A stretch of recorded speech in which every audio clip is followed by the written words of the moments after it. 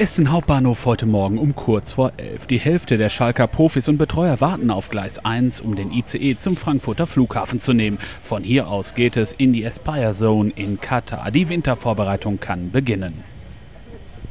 Ja, was muss passieren? Ich denke, wir müssen vor allen Dingen im taktischen Bereich arbeiten, wie der Trainer auch schon gesagt hat.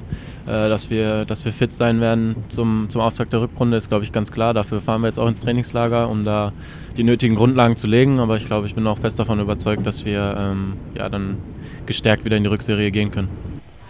Erstmals mit im Schalker Trainingslager sind die Nachwuchskräfte Kahn Eihan, Max Meyer und U23-Spieler Dennis Erdmann. Sie sollen über einen größeren Zeitraum Erfahrung bei den Profis sammeln. Und wer, wenn nicht Julian Draxler, der in Belek vor zwei Jahren erstmals dabei war, weiß, was daraus werden kann. Ja, genau. Da wundert man sich schon, wie schnell es geht. Jetzt ist man plötzlich schon zwei Jahre dabei und äh, die nächsten Jungen drängen halt nach.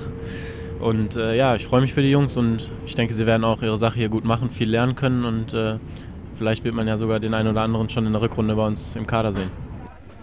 Und so geht es in Richtung Süden. Bei Temperaturen über 20 Grad und Sonnenschein erwarten Schalkes Profis dort sicher bessere Bedingungen als hier. Die Arbeit mit Trainer Jens Keller, der über München nach Katar fliegt, wird da wie ein Neuanfang.